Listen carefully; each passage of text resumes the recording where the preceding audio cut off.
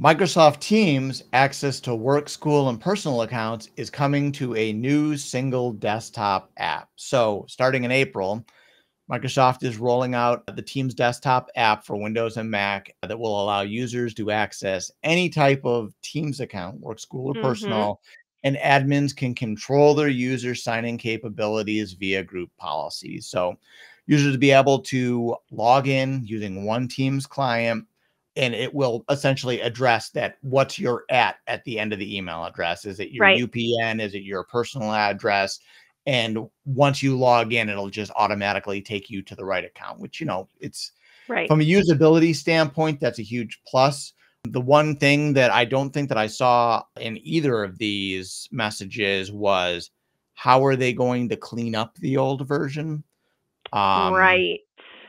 And I get the feeling so I was talking about this on our one of my Friday calls about, hey, how do we clean up the old version of Teams? And Microsoft does have an article up there for how you get rid of the older version Okay. of Teams once users have switched over. I'll grab Right. a link and I'll put that in the show notes.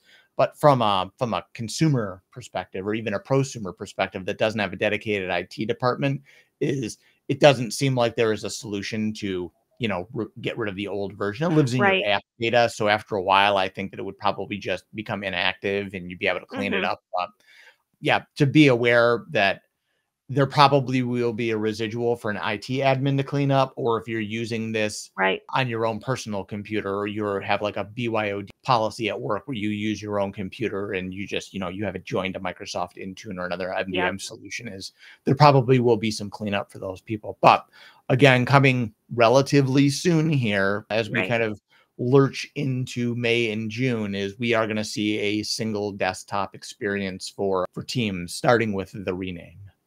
So I actually use so I'm I'm really lucky as, you know, as you are as as a consultant.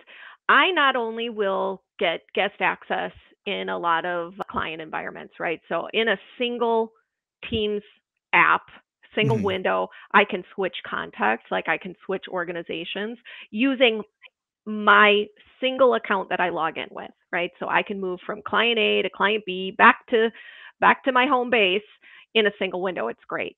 This experience, I also have a couple of accounts where I'm not a guest. I actually have my own whole account in that organization. It is awesome because it fits right in line with all of that other stuff.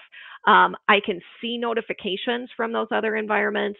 I can reply to chats in those other environments. It's one window to rule them all.